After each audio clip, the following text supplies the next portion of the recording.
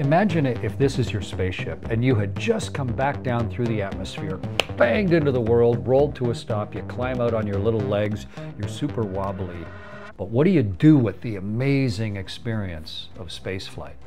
and I've flown in space three times. And so I've made TV series and I host Generator the show and I work with companies, but trying to let people in on the ideas of space flight. I've written three nonfiction books, but as you can see behind me, I also write fiction. And my latest book is uh, Final Orbit, which is a thriller fiction space book. It's the number one best-selling book in Canada, multi-weeks in a row. It's alternative history but it's so close to history you can't even pick out hopefully what's real and what isn't and it was great fun to write it's it's written in the summer of 75 during the apollo soyuz mission but with china rising in the space industry. And i'm just delighted uh, at how all of the plot elements came together.